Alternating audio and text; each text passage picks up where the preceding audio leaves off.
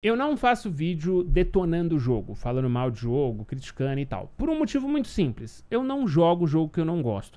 Cara, se dá 4, 5 horinhas da gameplay ali, eu não gosto. Na verdade, se dá uma hora e meia e o jogo não clicou, eu já fico meio que de alerta, porque tem aquele período de reembolso da Steam, por exemplo, que é duas horas. Então, assim, é por isso que eu não faço, tá ligado? É, eu não consigo. Eu, eu tenho uma admiração imensa quando eu vejo uma galera falando, odiei esse jogo, depois de 27 horas, não aguento mais. Mano, 27 horas.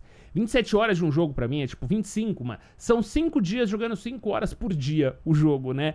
E, e para mim isso não tem cabimento. Cara, se o jogo não me pega desde o começo, ele provavelmente me perde, né? Então quando tem uma hora e meia ali e tal, eu já vou dar uma olhada, dar uma pesquisada. Mano, se eu vejo que a galera gosta, ah, pô, com 10 horas o jogo muda. Aí eu normalmente vou lá e invisto meu tempo ali e jogo esse jogo, tá? Por que, que então eu vou fazer esse vídeo falando que a ascensão do Ronin, ou Rise of the Ronin, me decepcionou?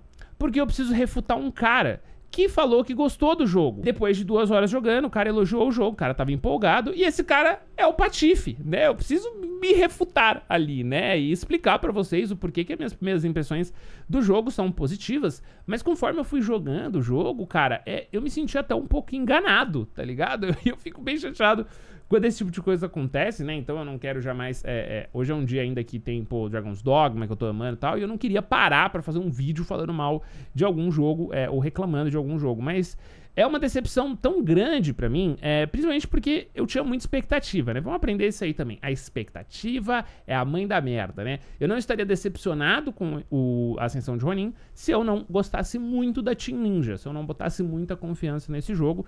Uh, e se não tivesse tido essa falsa expectativa da, da do jogo é, nas primeiras duas horas de gameplay dele, tá? Então, se você tá boiando, eu joguei duas horas mais ou menos ali do jogo e eu podia trazer um vídeo com as minhas primeiras impressões.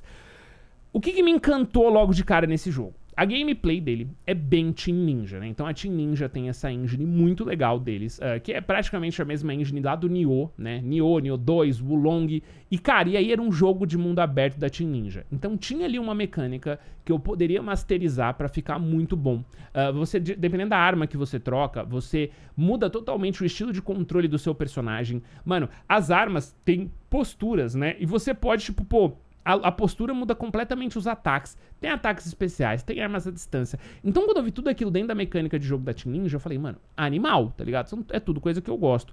O último jogo que a Team Ninja deu uma inventada maior, assim, pensou fora da caixinha, foi o Wulong.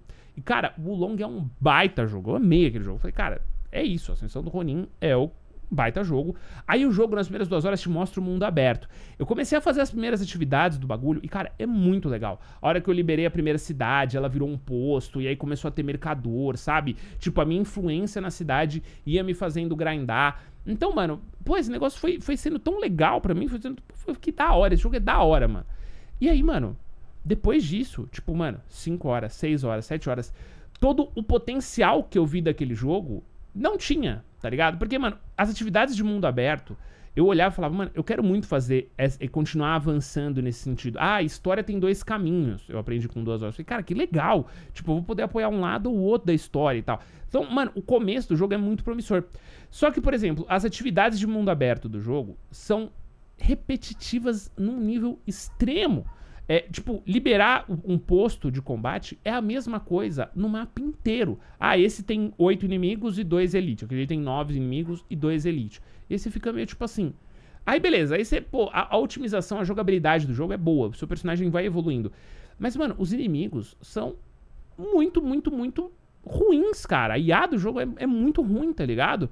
É, então, tipo, pô, o, o, cara, eu enfrentei uma luta que eu caí, aí veio um inimigo pra cima de mim, um grandão, assim, com umas garras. Foi uma das primeiras vezes que eu vi um inimigo um pouco diferente no game, assim.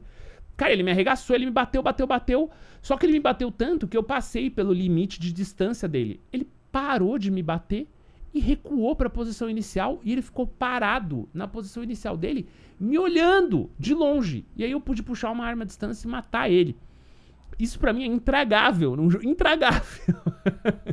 no final das contas, todas as lutas, porque aí, beleza, aí você vai ver nos inimigos, cada um tem uma postura, assim como você, as armas dos inimigos é o que define eles, né? E a postura de combate deles muda também como é que você tem que lidar com ele. Mas cara, é, eles começam, independente da postura, independente do inimigo, eles batem no ar. Então, mano, você tem que ficar esperando. O combate desse jogo é, você tem que ficar esperando aquele inimigo bater no ar Quando ele bate no ar, você tem que ir bater nele. E aí, velho, quando você entra um combo, então, pô, você percebeu que o cara tá moscando, tá demorando pra bater e você bate nele. Normalmente nos jogos nesse estilo, quanto mais você bate, o inimigo fica, tipo, vulnerável. Mano, você tá pegando uma katana e você tá, tipo, descendo um combo no peito dele. E no Rise of the Ronin, Tipo, se o cara quiser bater, mano, no meio do seu combo, você deu uma espadada no peito, uma segunda, a outra bateu na cabeça dele, mano, no meio do combo, ele enfia a lança em você, ele ignora que você tá batendo nele. Então, assim, mano, essas coisas elas vão te desconectando tanto da gameplay que aí todo o seu empenho no seu personagem não muda nada, tá ligado? E aí as atividades do jogo se tornam tão repetitivas que você só faz elas obrigatoriamente para upar o seu boneco. para você ir pro combate e, o, e a IA ser muito ruim, tá ligado? Então, mano, eu não tinha como descobrir isso com duas horas de gameplay, tá ligado? Mas quando você vai subindo as horas de gameplay ali, cara, já era. N não tem a menor condição de jogar, né? É, de novo, eu realmente acho que a parada do, do, do, do visual, eu supero a parada gráfica. Uh, não é um negócio que me incomoda tanto.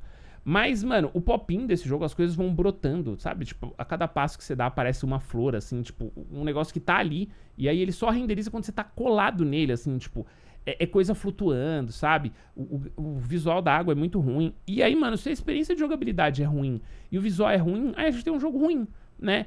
Então, enfim, mano, é uma decepção. Eu tô muito triste com esse jogo, porque é.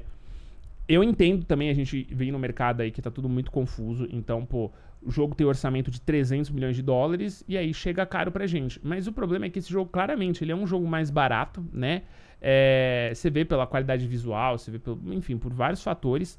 Uh, e ele chega por um preço cheio, ele chega por, por, por 70 dólares, né? Eu acho que tá, é isso, 350 reais, 70 dólares.